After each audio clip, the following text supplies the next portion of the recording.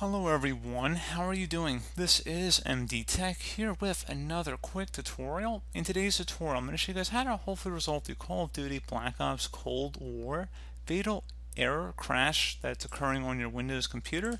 So this should hopefully be a pretty straightforward tutorial guys, and without further ado, let's go ahead and jump right into it. So first thing I'd recommend doing here would be to open up the start menu, type in power options, Best result should come back with power and sleep settings. Go ahead and left click on that to open it up. Scroll down on the right panel and then underneath related settings, select additional power settings. You want to set high performance as your custom power plan here. Please note it will use more laptop battery power if you're using a laptop. Probably a little bit more power too if you're using a desktop as well, but generally you won't notice it as much. But you want to set that to the high performance, especially when playing Call of Duty. Close out of here. Another thing you can go ahead and do would be to open up the start menu again, type in performance,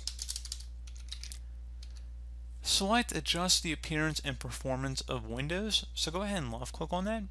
Select adjust for best performance and then select apply and OK.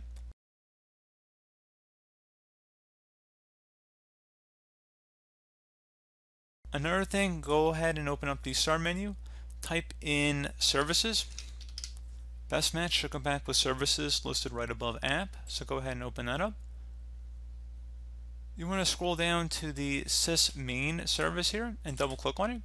If service status is running, you want to go ahead and stop it and set startup type to disabled. Select apply and OK. As for the performance settings that we changed visually with the last step, you can always revert it back after you're done playing the game, or you could just, you know, customize it a bit so you don't notice it as much as some of the graphical stuff, but you should notice a decent improvement in computer performance by doing that. So again, pretty straightforward. One further thing you can try here would be to open up the start menu, type in device manager, best result should come back with device manager. Go ahead and open that up you want to expand the display adapter section up here at the top. Right click on whatever display adapter is listed under here and select update driver. Select browse my computer for drivers and then select let me pick from a list of available drivers on my computer. Select the more specific one to your manufacturer, otherwise if there's only one option for example you can select the generic driver and then once you've made your selection select next Once that's done, close out of here, restart your computer, and then attempt to relaunch the game, and hopefully at that point your issue should have been resolved. So as always, thank you guys for watching this brief tutorial. Do hope that I was able to help you out, and I do look forward to catching you all in the next tutorial. Goodbye.